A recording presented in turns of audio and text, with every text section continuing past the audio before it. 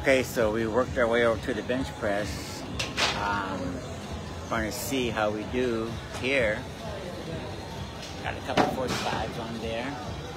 Right now, that's good enough, and um, I don't know how gonna how I'm gonna handle it today. I've been handling it just fine, doing you know one or two reps only. That's enough for me right now. I'll progress hopefully uh, over time, but if I can at least do one or two, that's good for now. Then I'll work my way down until we get just one 45 on each side. Anyway, uh, let's see how we do today.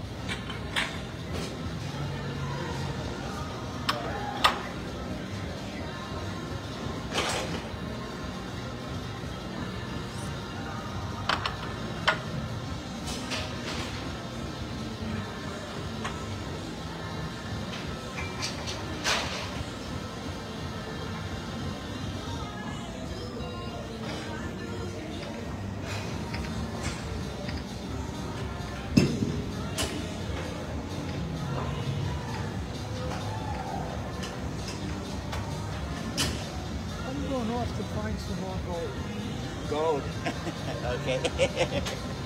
Alright.